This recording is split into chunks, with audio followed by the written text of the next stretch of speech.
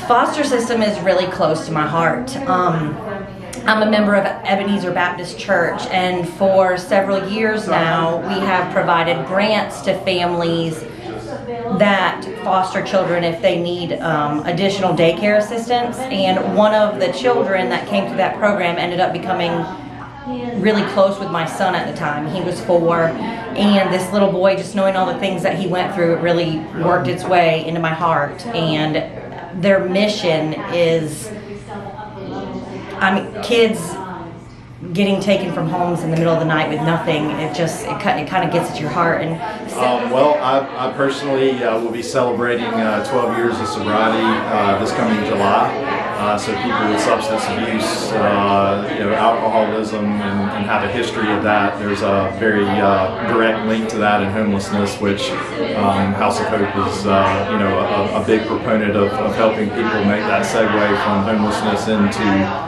uh, transitioning into and back into the, the real world. And so as a result of that, of my connection and my my homelessness uh, back whenever I was in active addiction, um, you know, as the result of that, I have a very special place in my heart for, for organizations that help with that. Sounds good. So.